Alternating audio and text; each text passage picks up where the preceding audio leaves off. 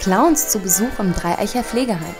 In erster Linie sorgten die Clown-Doktoren mit Musik und roten Nasen für gute Stimmung bei den demenzkranken Bewohnern im Haus Dietrichsroth. Die Profis bespaßten zum ersten Mal überhaupt Pflegeheimbewohner im Kreis Offenbach. Üblicherweise heitern sie Kinder in Kliniken auf. Doch warum besuchen die Clowns heute Demenzkranke? Man kann zum Clown emotional immer Kontakt aufnehmen und das ist halt für Menschen mit Demenz besonders gut weil vielleicht manches kognitiv nicht mehr funktioniert, aber die Emotionen funktionieren. Und dadurch ähm, können, kann das Gedächtnis wieder angeregt werden, es kann zu guter Stimmung kommen.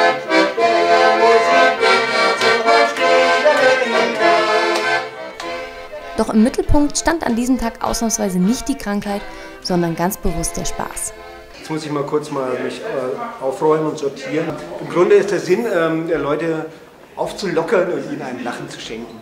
Ich mache, dann würde ich Ihnen jetzt noch kurz die Hand schütteln. Ja, ja. ja. Einen Handkuss geben. Und dann, dann würde ich mir einfach meinen Hut wieder aufsetzen. Ja, da ist ja schön. Also die Humorebene, die ist dann schon viel offener bei, bei alten Menschen. Ähm, ja, also da, da denkt man nicht erst drüber nach, bevor man.